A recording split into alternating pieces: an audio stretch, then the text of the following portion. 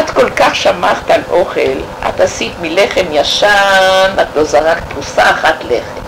את עשית ממרח כבד, ואת עשית כל מיני דברים, שום אוכל לא נזרק אצלנו בבית. את הכרחת לנו לגמור בצלחת עד לרגע האחרון.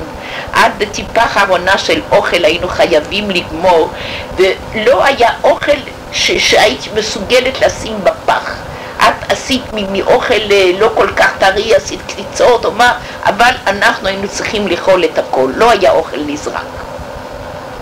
איך הרגשת שהוא אמר את זה? מה? איך הרגשת שהוא אמר את זה? אני הייתי מופתעת.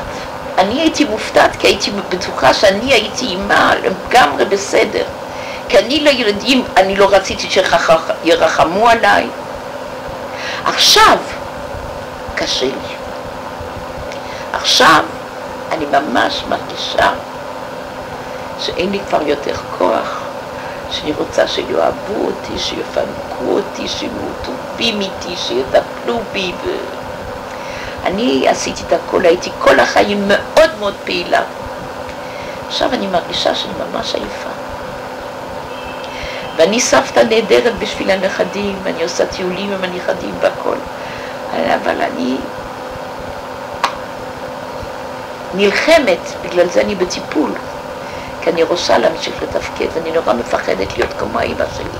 אז הם אומרים שאני לא כמו האימא שלי, כי אני לבד פניתי להיות בטיפול. אני כשהרגשתי לפני 22 שנה, הרגשתי שמשהו מתערער. אז אני פניתי לעזרה.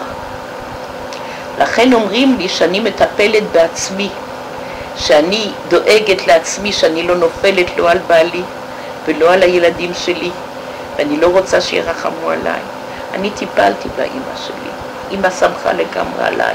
היא באה אליי הרבה בהרבה טענות. היא טוענת שאחי לא דתי בגללי, כי אני לא רציתי שילך לישיבה. היא טענה, היא כבר לא בחיים, כן.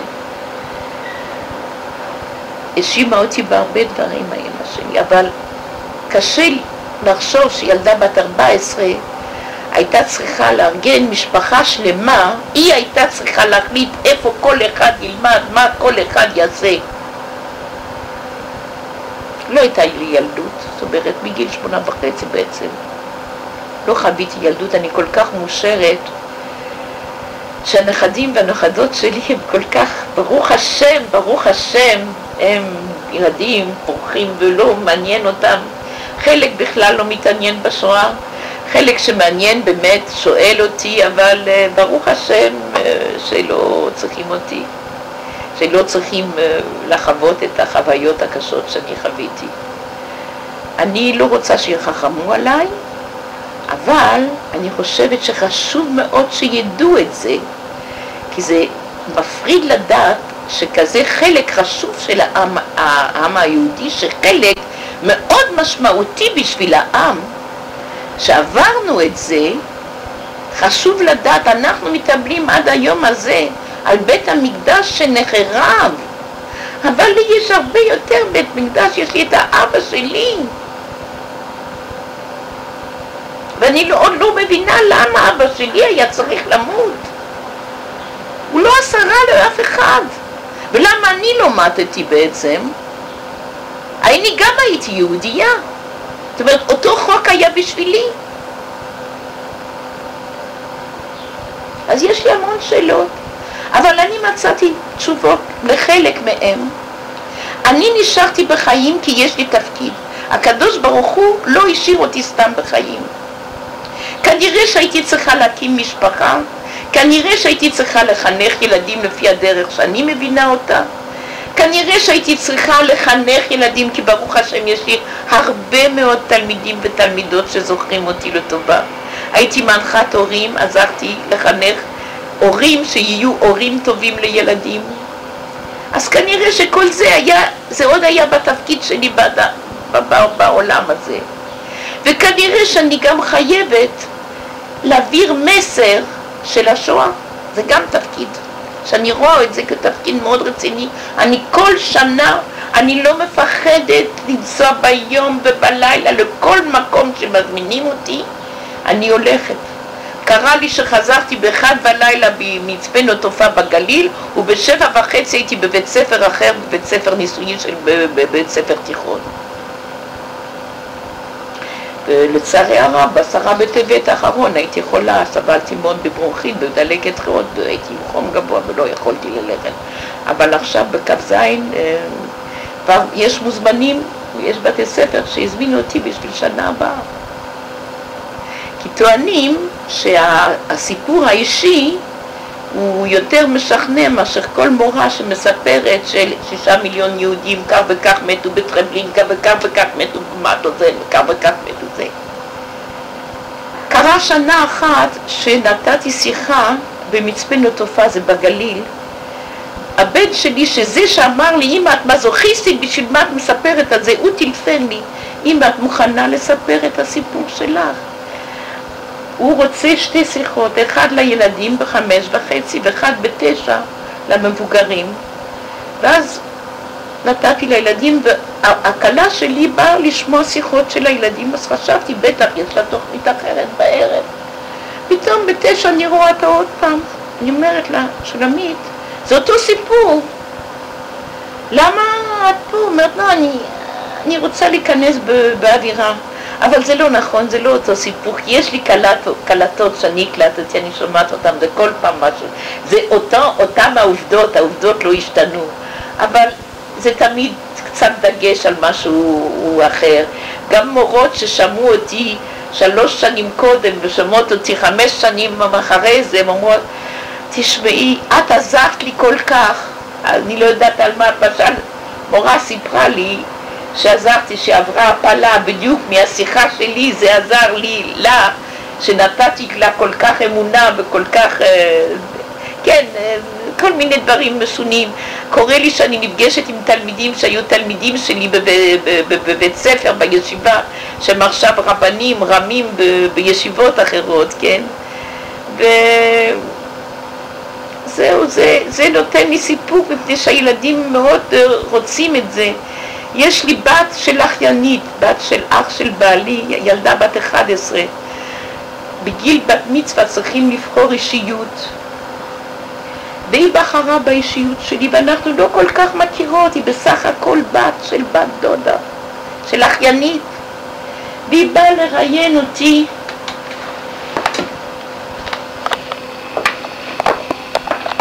קראה את הספר שלי והיא יודעת את הספר שלי יותר טוב ממני. היא שאלה אותי המון המון שאלות. הנה, הנה זאת הילדה, היא באה לראיין אותי. היא באה עם תה, היא ראיינה אותי ושאלה המון שאלות על הספר. אני מקבלת מכתבים באמת מכל הארץ, מהמון קיבוצים, ששואלים שאלות שלא תמיד הכל ברור להם. ואני עונה לכל אחד. בבית ספר אחד שכלתי היא יועצת בית ספר, אז הילדים באופן ספונטני כתבו לי מכתבים ומסרו לה כל יום עוד מכתבים, עוד מכתבים, אז היא אמרו, תפסיקי לכתוב, אני מכירה את חמותי, היא תענה לכל ילד וילד. אז באמת אני לא עניתי לכל ילד וילד כי שאלות חוזרות בעצם.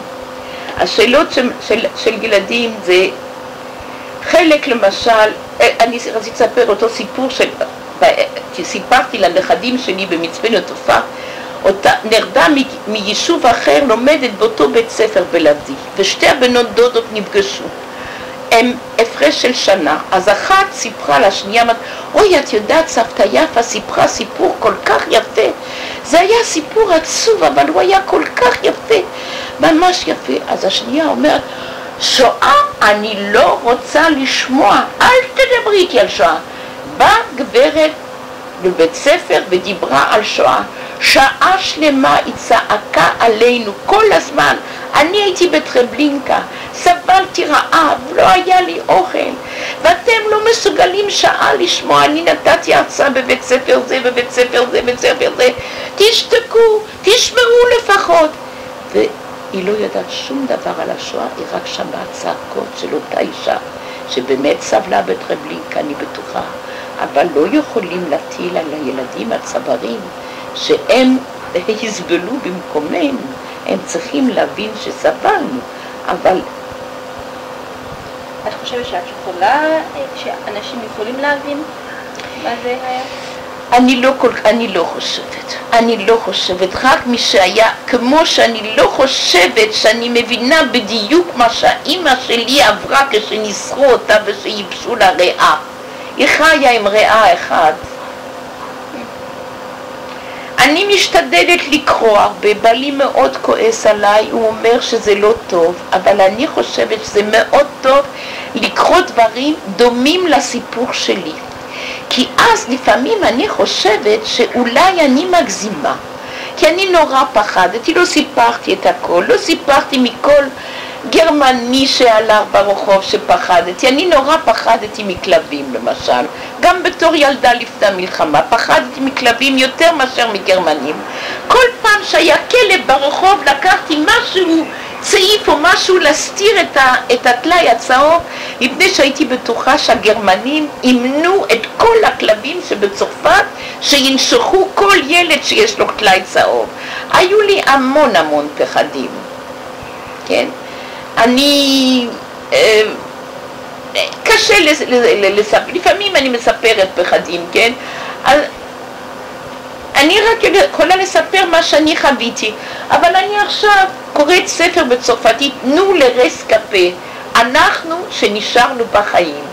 אז שם כתובים כל מיני שמות של, ילד, של אנשים שהכרתי, והם מספרים סיפור דומה, ואני קראתי המון סיפורים של ילדים, שלמשל יש ספר מאוד יפה, המפקדת הקטנה, אז הבן שלי קרא, אומר, אמא זה כל כך דומה לסיפור שלה, הייתה אישה מקיבוץ סעד, שהשנה באה לתת הרצאה אה, במצפה נטופה, אחר כך הבן שלי אומר, אוי זה כל כך דומה לסיפור שלה, כל הסיפורים הם דומים ואף אחד לא מכיר את אף אחד.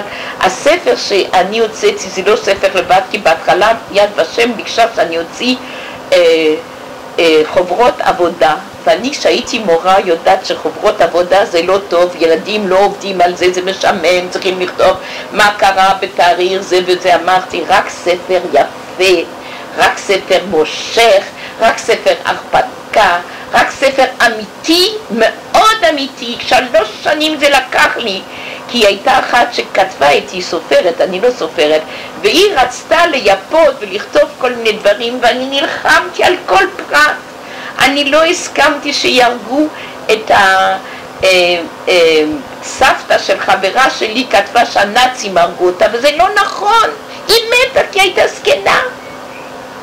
הבן שלי למשל, הוא היה צריך להדליק משואה לפני כמה שנים, אז הוא אמר, את, את רוצה שאני אגיד לך מה אני אגיד על, על סבתא, שמנגל עשה עליה ניסיונות? אמרתי חס וחלון, מנגלה לא עשה ניסיונות על האימא שלי, אימא שלי הייתה בצרפת.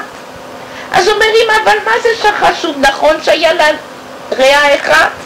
אמרתי, נכון, אבל זה לא מנגלה, וחייבים להגיד את כל האמת, ולא להוסיף משהו. האמת היא מספיק טרגית, מספיק נוראה, ואולי הקדוש ברוך הוא עשה מי יודע את דרכי הקדוש ברוך הוא שעכשיו השם שלי הוא בן ישר.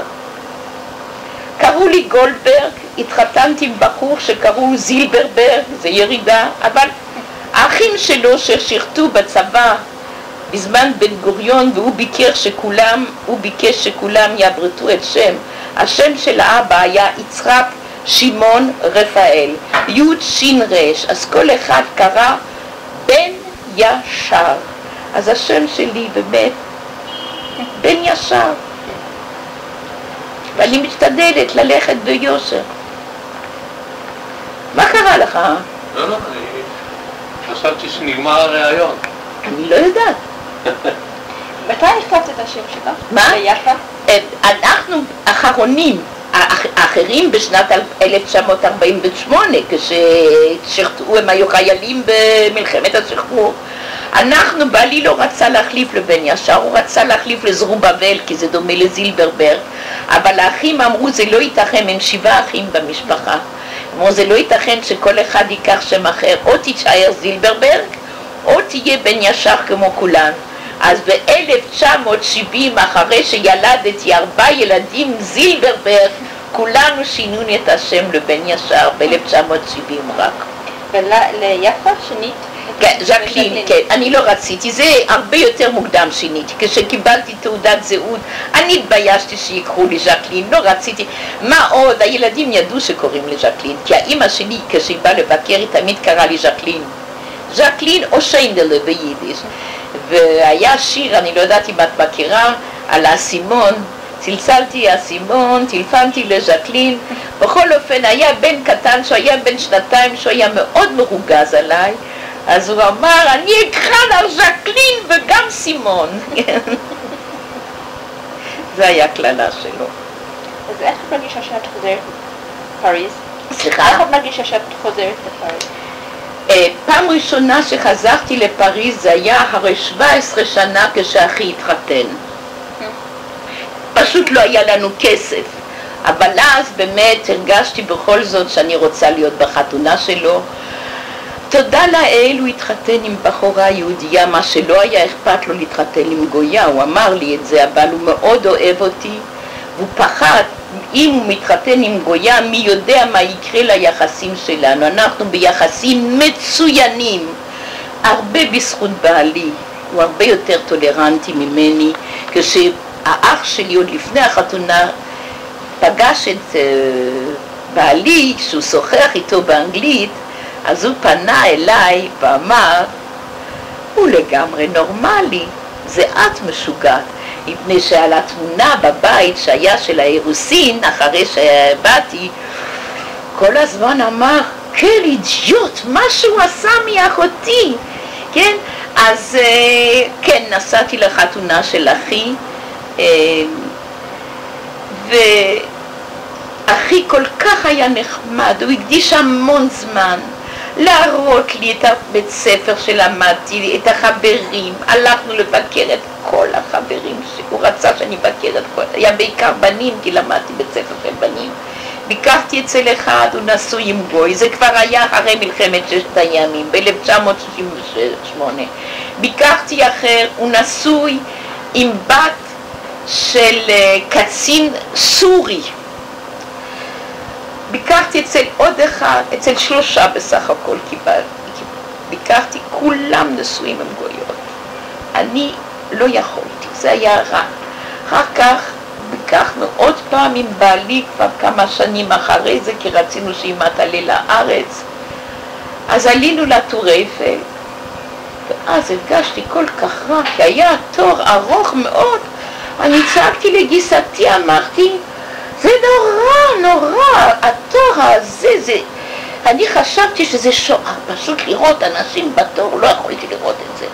אז אמרה, השתגעת, אמרתי, לא יכולה לעלות, אני לא יכולה לעלות, זה עשה לי רע מאוד. אה, לפני ארבע שנים נסענו לבקר את אחי, היינו חודש, נסענו בנורמנדיה, ראיתי את הבית הישן שלי. נסעתי ממש כתיירת, נהניתי, פריז היא עיר יפה, ויש הרבה מוזיאונים יפים, וזה יפה לראות הסצנה, ושוב יכולתי באמת ליהנות. בהתחלה שבאתי לארץ נורא נורא התגעגעתי לפריז. כל פעם ששמעתי את המרסייז אני נעמדתי דום. עשו חילופי אה, סטודנטים בין אה, פריז ואנגליה והיה איתי חודש באנגליה והתגעגעתי לפריז נורא, שזו עיר כל כך יפה, עגולה, ולונדון כל כך ארוכה, וראיתי סרט וראיתי את פריז, וכל כך בכיתי, הנעליים אדומות, כי ראיתי את פריז שלי, אבל אין לי שום סנטימנט, זאת אומרת, אני מאושרת שאני בארץ, אני לא מרגישה צרפתייה בשום אופן, לצערי הרב, אני עדיין נהנית יותר לקרוא צרפתית וזה מצחיק כי עזבתי צרפת בגיל 18 אבל אני אוהבת את התרבות הצרפתית. אני מתווכחת עם גיסתי שהיא מורה לספרות צרפתית ואני עדיין יודעת, התווכחנו, התווכחנו ובעלי, והאח שלי צריך לחפש בספריות, יש איזה משורר שכתב איזה שיר ואני לא זכרתי בדיוק והתענה שזה אלפרד דה ויני ואני אומרת זה אלפרד דה מוסה אתמול הוא טלפן אמר זה באמת אלפרד דה מוסה וזה נמצא בקובץ אה, לילות, מאי, והוא ישכפל לי, הוא לא יודע אם הוא ימצא את הספר, בכל אופן אני זוכרת טוב טוב מה שלמדתי בספרות הצרפתית. אני בגיל 17 הכרזתי בחור שלא ידע את הספרות השירה הצרפתית על בוריה, אין לו מה להטריד איתי. בעלי לא ידע מילה אחת צרפתית. ולא יכולנו לריב, כי הוא ידע עברית ואני ידעתי צרפתית. אבל אנחנו חיים בכל זאת חמישים שנה ביחד. כן. תודה לך. בבקשה, אני מקווה שעזרתי לך. כן. אני הייתי בכפר מימון, אם בית בישיבה, ואיזה ילדה מאיזה בית ספר, מישהו סיפר לה, הייתה צריכה לכתוב עיתון של בית ספר, ואמרו לה לבוא לראיין אותי על השואה, והיא ראיינה אותי, ואז סיפרתי דברים uh, ככה. אחר כך מפה לאוזן זה הלך, אז הלכתי לבית ספר בכיתה ד', ואז התחלתי נורא נורא לבכות. ואני אמרתי, זה לא הגיוני, בשביל מה אני עושה את זה, אני, אני בוכה, היה לי נורא קשה, זה, זה היה פתאום להוציא כל כך, לא סיפרתי להם לא על ההטרדה וכל זה, וזה רק בשנים האחרונות ורק לאנשים מבוגרים אני מספרת, כן, לא, כמובן לא לילדים של בית ספר, אבל אז בכיתי, ורק אחרי כמה שנים החלטתי, גם אם קורה לי לפעמים שאני פתאום בוכה, זה לא נורא, ילדים יכולים לסבול את זה. רק שאני לא מאשימה אותם ולא אומרת שאני מסכנה, מסכנה, מסכנה, כן, אבל שפתאום אני נרגשת כל כך, שפתאום אני נזכרת בתלוי הזה או משהו, זה לא נורא. הם יכולים, זה, זה אף... אני שמעתי, חשוב לי מאוד לשמוע מאימהות, מילדים, חשוב לי מאוד לקבל איזון חוזר, כדי ש... מה שאני עושה, אני עושה בין כה זה בהתנדבות, אבל מה שאני עושה, שזה יהיה משהו יעיל ולא חס וחלילה משהו ש, שיעשה יותר גרוע. וברוך השם בינתיים, אני רק שמעתי תגובות טובות, זה כל כך חשוב, וזה זה כל כך... והילדים מאוד התרגשו, אבל זה לא נורא שילדים מתרגשים. במקום להתרגש מפח פח בום בום בטלוויזיה או מרסק עגבניות שנוזל, אז זה יותר טוב להתרגש מדברים אמיתיים שקרו לילדה קטנה. אם אני נכנסת למשל בכיתה ג', כיתה ד', אני שואלת, למי יש סבתא בגיל 65, אז הייתי פעם, פעם הייתי גם בת 65, לא תמיד הייתי בת 69, אז הילדים יודעים, מה, לי יש סבתא אפילו בת 72, כל אחד מספר על הסבתא שלו. תגיד, אתה יכול לדמיין איך הייתה הסבתא שהייתה בת שמונה וחצי, בת 11, איזה משחק היא אהבה לשחק, ואז פתאום זה ככה, זה, זה כבר לא איזו אישה מבוגרת שמספרת על צרות, ואני מספרת לה על כל מיני דברים uh, שמצחיקים, למשל על, uh, על התפילה שאמרתי בקול רם, ידעתי שהכומרים הם לא מתחתנים, לא יהיה יותר ילדים, אז אם זה כיתה של... זה נורא מצחיק אותם, וצוחקים. אומרת, אני לא עושה את, אני עושה את הדבר רציני, כמו, כמו שסיפרתי לך בעצם. זה דבר רציני, זה דבר שמאוד כאב, זה, אבל, אבל, אבל,